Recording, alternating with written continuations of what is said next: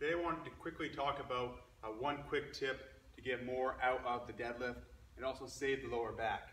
So when setting up for a uh, deadlift, whether it's kettlebell like here, a trap bar, or a barbell, one of the biggest mistakes is as we're lifting the kettlebell, we're just kind of grab it and go.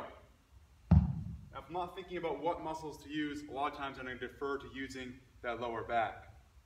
So what I want you to do is, as you're coming down, I want to find those hamstrings. So as I'm coming back, I'm, yes, I'm bracing, but I want to find those hips and hamstrings, and then from there, I want to squeeze the armpits and pop through.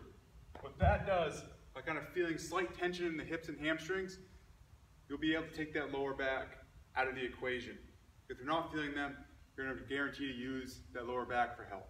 So give that a try next time. Try to find a little bit of tension in hips and hamstrings, and then come right up and let me know how that feels.